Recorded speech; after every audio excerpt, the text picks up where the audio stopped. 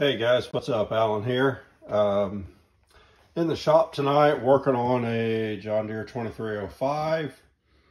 Basically what had happened was the flashers quit working. And I did a little research on it and uh, turns out there's a diode way down in here and uh, it goes bad.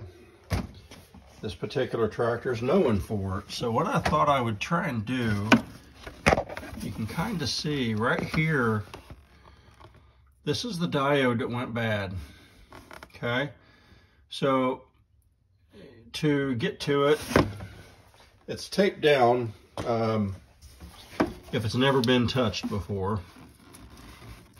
So the easiest way to get to it is to undo all the screws on the dash. You gotta lift this up a little bit.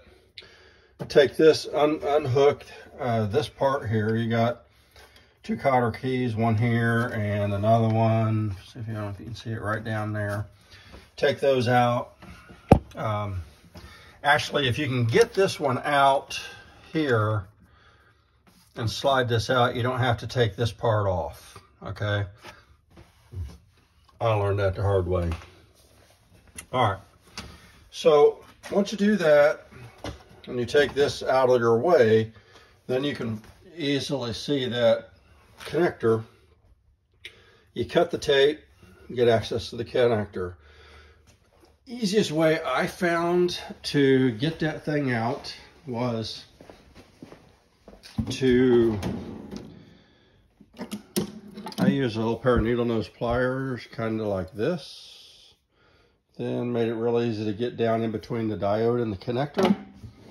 And then I took a small, small screwdriver, flat blade screwdriver, used that to hold the lock tang up while I pulled the connector out, or the diode out.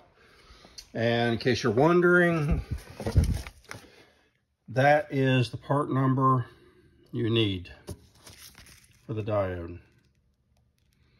Okay, you do that, you uh, change, change it out and put everything back, button it up, you're good to go.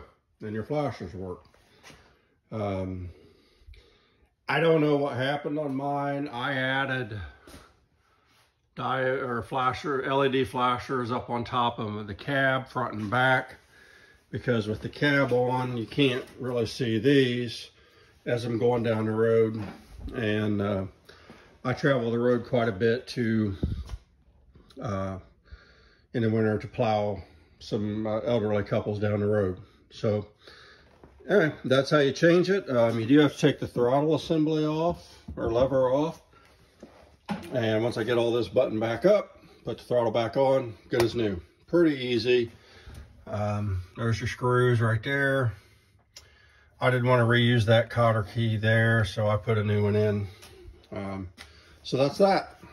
Hope y'all, this helps somebody down the road.